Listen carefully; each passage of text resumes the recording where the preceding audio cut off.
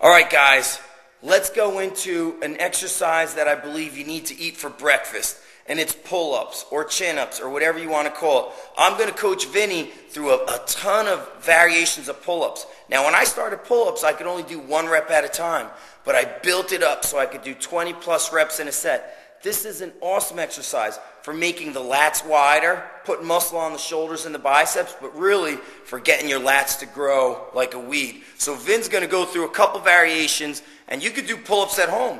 Buy that like 20 or $30 pull-up bar to put in your doorway, and Big Vin's going to go through a couple. So Vin, let's go through the first one with an overhand grip. Why don't you face us so they could see you? Why don't you turn around this way so they could see you?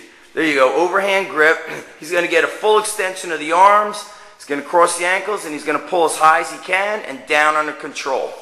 See how he comes down under control, real tight, trying to squeeze the shoulder blades as you go up. Awesome. And you go as high as you can. Some guys can get their chin over the bar. If you could get up to nose level, that's good. Try to get as high as you can. Keep the reps full range. But notice you went down all the way. Big mistake guys make Big do halfway. Big tip too, guys. You'll notice that you'll be able to squeeze out extra reps as soon as those elbows turn in. So if the emphasis is on your lats, keep your elbows flared out. Once the elbows turn in, it becomes a lot of biceps, which is okay if you want to work your biceps, but if you're working your lats, keep those elbows flared. Cool. So now let's back up to the bar behind you, Vin, and you could still face us. Now you're going to go an underhand grip, actually, and your chin will come behind there. Either one, either bar you could grab. He's going to do underhand. Still working the lats, but also working the biceps and the grip. Also notice his legs don't move. He's not swinging through the legs. He's letting the lats do all the work.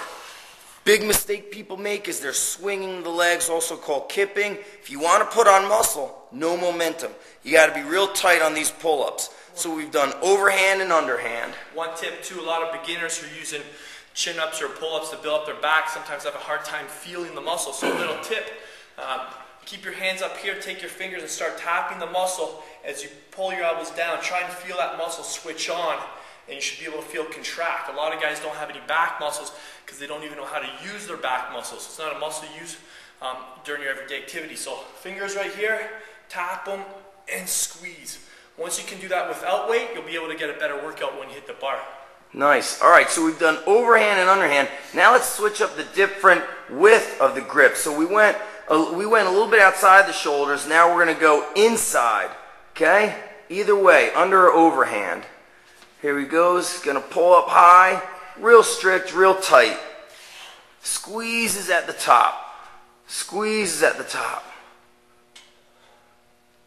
Nice. Okay, now, and this is if you don't really have, some, some of these might feel a little bit odd to the shoulder. If your shoulder bothers you, don't go too wide. But if you're healthy, you could try going wide grip. This was real popular in the classical golden era of bodybuilding. These guys used do 10 sets of pull ups before every lat workout. Check it out. Here goes Vin Diesel going wide.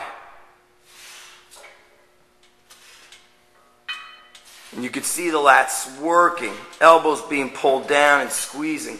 Now we've got wide, we've gone shoulder width. Let's go thumbs together, very close together, overhand grip. It's going to be more of a reverse curl. Go this way.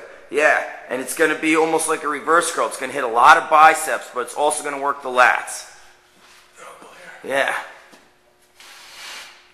You can see the biceps getting a lot of work here. I don't think I've done that one before, Zach. That's yeah, a that's a real good one. And, you know, what I say is maybe every set of pull-ups, once you're more, a little bit more advanced, you've been training for a while, you would switch up your grip every single set to shock the muscles. Don't let them get used to any angle or any any different, you know, grip. Let me uh, let me tell you guys too. If uh, you guys got a graduation coming up or a wedding coming up, don't go buy your suit yet. That's gonna really spread out your lats. It's gonna it's gonna mess up the salesman when he tries to put on your suit. So. Uh, was good. What else you got? Nice. Well, we've we've gone overhand and underhand different grips. Now let's do what's called staggered, where we go over under. One is over, one is under. It doesn't matter how wide or how close. You just mixing everything up. Nice. See how he stretches the arms out all the way? And of course, you go and get equal reps on each side.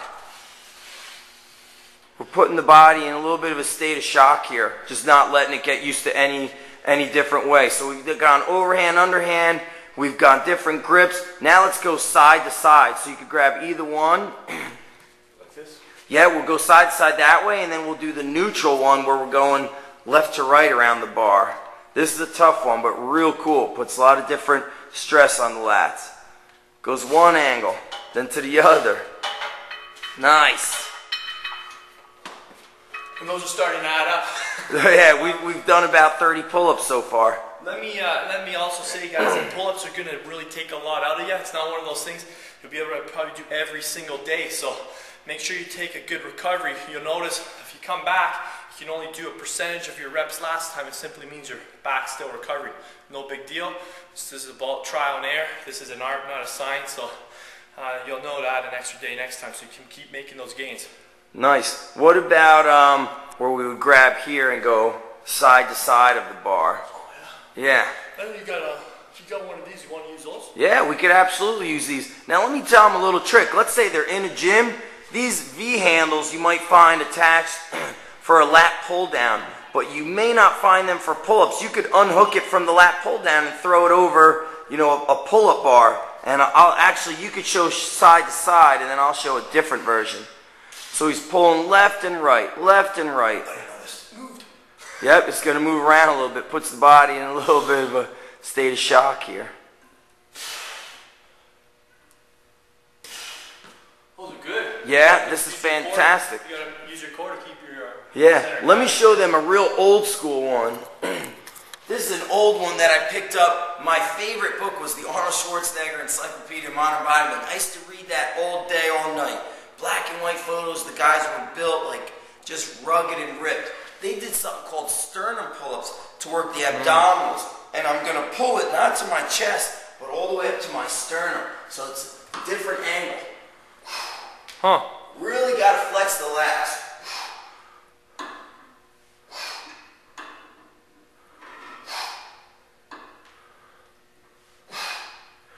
That's good. You can see your lats too. Hey, Zach, turn around. Yeah, You see a lot of see.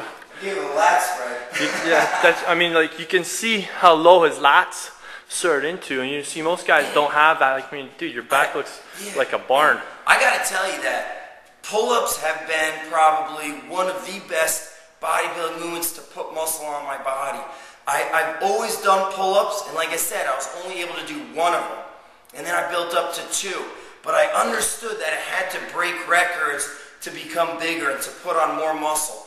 But in the real world, you know, some days you're exhausted, you're tired, you may not break records all the time, but I remember building up to five in a row, 10 in a row, and once I got to that 20 in a row, that was great. Pull-ups are excellent, okay? And it's a body weight drill. It can be done almost anywhere. So you got to focus a lot of energy on this movement, but like Vince said, don't get carried away because if you're, you'll know your lats are sore. They get sore into that armpit area. If you overdo it, you can't get strong. Let the body rest. Yeah. And uh, guys who want to build up their biceps too, um, you may find that um, you don't need to do much bicep training, at least isolation training. Unless you are a bodybuilder, a competitive bodybuilder, yeah, you're going to have to add in some isolation stuff for your biceps. But, um, I mean, if you're, uh, you know, even 150 to 200 pounds and you're pulling your body up with a close grip, don't tell me you're not using your biceps. Your Show the guns, Big Vin. Show the guns. There's the guns. I mean, you're only as strong as your weakest link, right? So if your your back's not going to get stronger unless your biceps get stronger. So it all works together. And like Vinny said, focus on the on the big stuff. We speaking about that with Real Man Strength. Training economics. Get the big stuff done. That's what puts on the muscle. And that's what picks up the chicks too, guys. All right, we're coming at another.